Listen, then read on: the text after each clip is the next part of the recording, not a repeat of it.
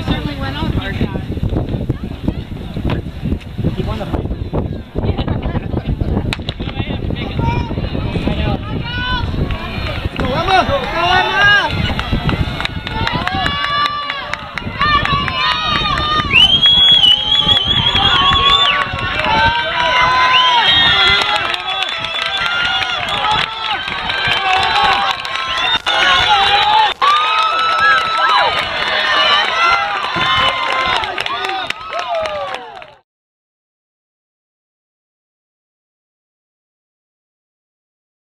and the Section 1 2A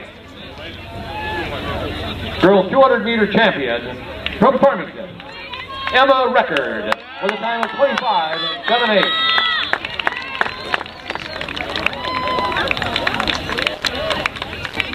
Good job,